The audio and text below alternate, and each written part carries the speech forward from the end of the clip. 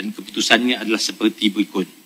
Setuju 10. Tidak setuju 48. Rosak dan berkecuali atau berkecuali 1. Oleh yang demikian, usul ini tidak dipersetujui.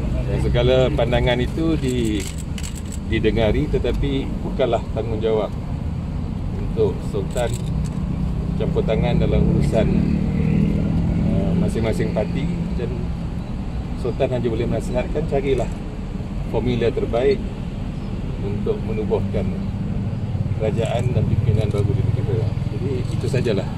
Pagi besok Yang Mulia telah berkenan menerima menghadap Presiden UMNO Datuk Ahmad Zahid Hamidi pada pukul 10 pagi. So itu sajalah ya. So boleh baliklah terima kasih.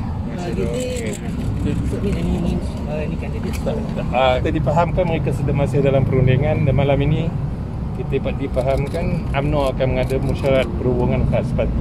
Itu kita dipahamkan. Tapi ini kena tanya orang parti. Tidak melibatkan istana. Jadi kena tanya dengan pimpinan UMNO lah. Saya hanya memaklumkan apa yang berlaku di istana pada pagi ini. Pakatan Harapan punya leader tu dia jumpa Wan Banguan ke uh, Tiga sekali atas nama Pakatan Harapan.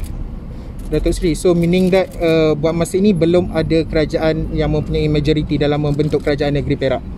Saya hanya melaporkan apa yang mereka sembah maklum tentang uh, pendirian yang mereka pegang dan usaha yang mereka laksanakan sekarang.